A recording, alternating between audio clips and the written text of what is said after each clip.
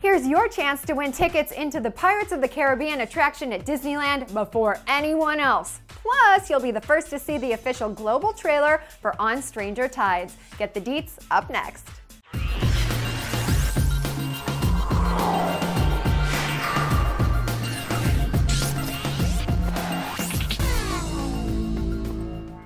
Ahoy there, mateys! Thanks for coming back to the show. I'm Dana Ward for Clevver TV with today's big giveaway for Pirates of the Caribbean. One lucky winner will score two tickets total for an exclusive Pirates fans first event at Disneyland on December 13th. Basically, the person will be allowed into the Anaheim theme park attraction at 5:30 a.m. Obviously, this is way before anyone else from the public is allowed with a one-day resort park hopper pass.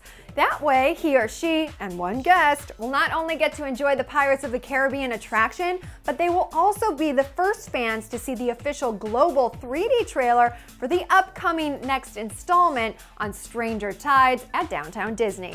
Plus, this exclusive group will also get to enjoy an after party with fellow fans, commemorative gifts, prizes, and even get sworn to the Pirate's Oath in a ship ceremony. Pretty cool, huh?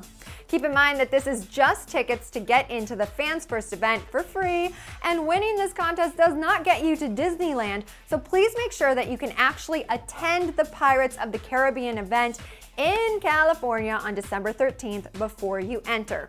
Here we go. You must be a show subscriber at youtube.com slash clevvertv in order to enter, and you need to post the answer to the following question on this video. What's your favorite Jack Sparrow moment?